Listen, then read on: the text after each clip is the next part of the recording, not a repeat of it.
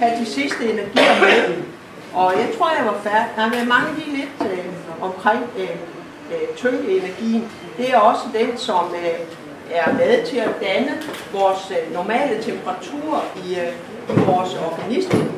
Og, øh, og det er jo så også den, øh, hvis der kommer ubalance og sygdom, der gør, at vi får øh, temperaturforhold og bliver syge. Og det er faktisk det, vi er ved at kan se, øh, der, der kommer til udtryk øh, Øh, på jordkloden og, og jordklodens atmosfære. Og vi har jo ikke rigtig set øh, resultatet af de øh, klimaforandringer, som vi bliver mere og mere konfronteret med. Og det er faktisk jordkloden, der er på vej til at få en øh, temperaturforholdelse, der kommer til at få nogle meget store konsekvenser. Øh, iset smelter, iset, iset øh, på polerne smelter, og det er øh, jo det, vi slet ikke kender af skyldes resultatet af.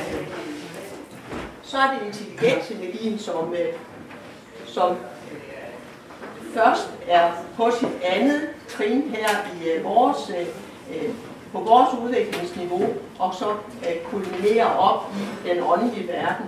Og den energi, det er jo en fuldstændig neutral energi, og den øh, er lige så vel øh, i selviskheden som i uselviskhedens tjeneste.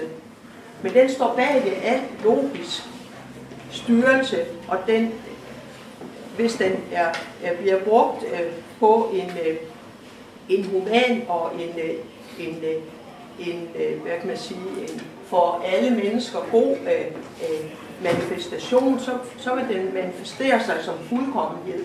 Og det er jo det, som øh, man ser øh, rundt omkring i, øh, i øh, skabelsesværket, men hvordan at øh, vores planetsystem det fungerer jo som en fuldkommen skabelse med sol og, og og nat og skift på årstiderne.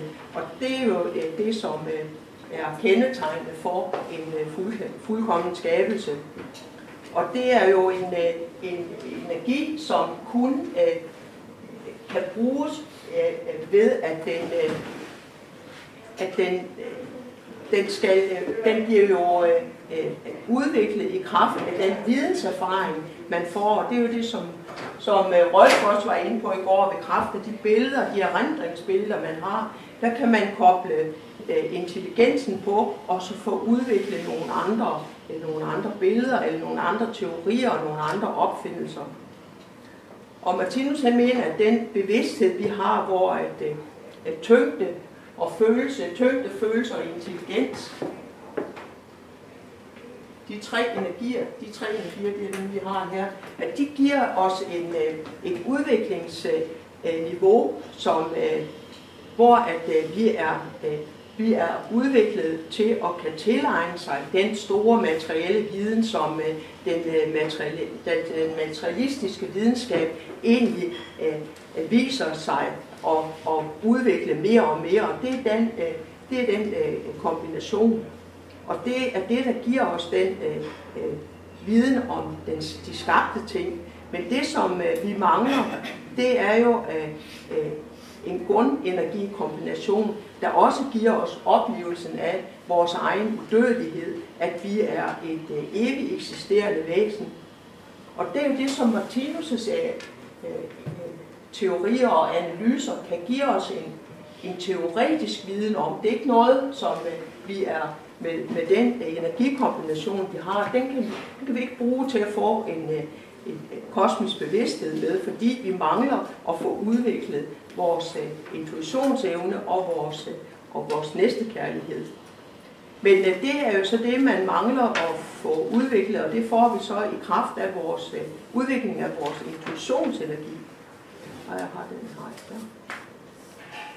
Og den er, den er jo så det, vi også har talt om tidligere med, hvor stor en gennemtrængningskraft den har. Det er den mest gennemtrængende energi, der kan man sige, den dominerer alle andre energier.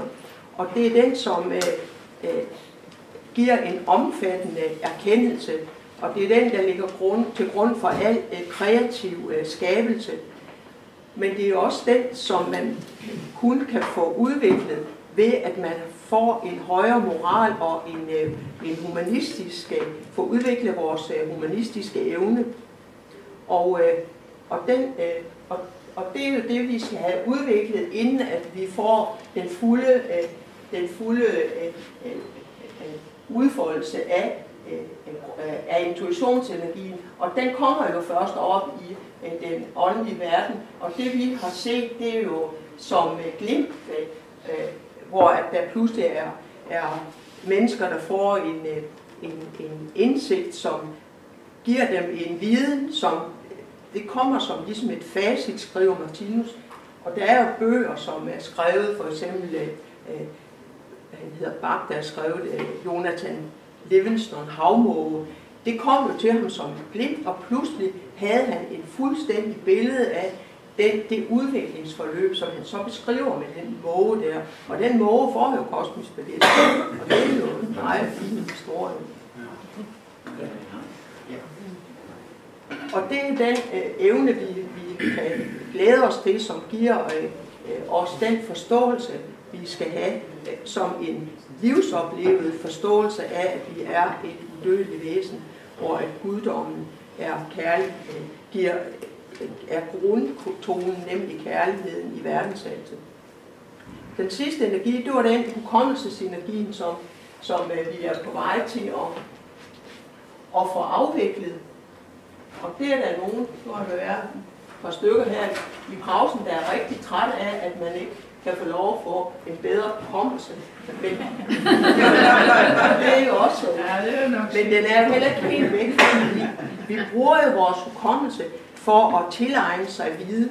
Vi kan ikke tilegne os viden, hvis ikke at vi kan bruge den viden, vi tidligere har tillært os. Og det er jo den viden, som vi så kan bygge videre på. Og hvis øh, øh, de erindringer og, og, og videns øh, ocean, man har fået plantet ind i sin øh, bevidsthed, de forsvinder, så har man jo, så går al udvikling i stå, og man kan jo godt øh, komme til at tænke på mennesker øh, på plejehjem, der er, er, der er forsvundet ind i demens eller Alzheimer's sygdom. De har jo ingen hukommelse, og al udvikling for de mennesker er fuldstændig stoppet.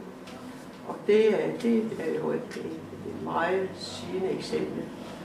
Men det var også det, som, øh, som, øh, som der hvor den kulminerer, var det jo så i, øh, i den erindringsplan, man oplever, hvor hukommelsen er i sin fuldeste en udfoldelse, og det var der i salighedsriget, hvor man har adgang til at få hele, hele panoramaet igen i kraft af guldkopier, og man får en erindring af af sine egne tidligere tilværelser. Og så har jeg lige sådan et par ting her til sidst. Martinus han kalder vores tid de sidste tider, og det er den overgang øh, til det rigtige menneskerige, hvor vi forlader dyreriget. Men før det sker, der vil vi blive konfronteret med de ufærdige sider i vores udvikling. Og det vi ser i dag, det er jo de store forandringer med klimaforandringer, som også har været inde på. Men det er også det, Martinus kalder den døende verdensimpuls.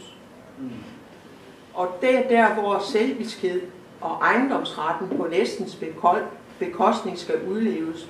Og det kan man godt sige, det er det, vi ser er ved at blive udlevet i vores kultur i dag, hvor øh, vores øh, kapitalistiske systemer, dem har man jo faktisk ikke mere tillid til, og der må man jo så se at få afviklet. Men Martinus han siger jo, at alt skal frem i lyset, fordi det er i lyset, at, øh, at vi kan se, hvad der skjuler sig i mørket. Og lyset, det vil også nedbryde mørket. Og øh, mennesket har en øh, fælles, et fælles fremtidsmål, forklarer Martinus. Al udvikling sker på basis af universelle eller åndsvidenskabelige love, og en indsigt i disse love, disse grundlove, det gør det muligt at forudse menneskehedens fælles fremtidsmål.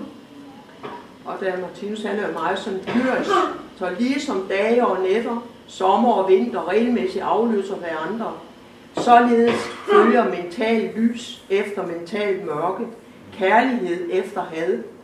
Udviklingens mål på jorden er skabelsen af et globalt fredsrige, og med skabelsen af et internationalt lov- og retsvæsen. I sin åndsvidenskab analyserer Martinus betingelserne for verdensstaternes gradvise udvikling, frem mod det kommende rigtige menneskerige, eller som det er profeteret i Bibelen, himmerigets rige på jorden. Og det kan vi glæde os til.